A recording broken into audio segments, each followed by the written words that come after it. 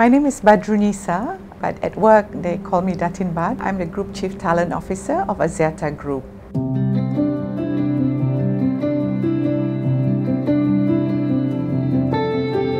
When I was small, I really wanted to be a doctor.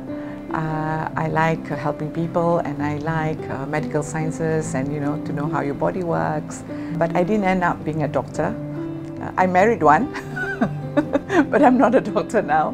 I do other things now. Doing talent management, I think what is uh, you know what joy I get out of it is really helping people to grow and develop and to achieve their ambitions actually.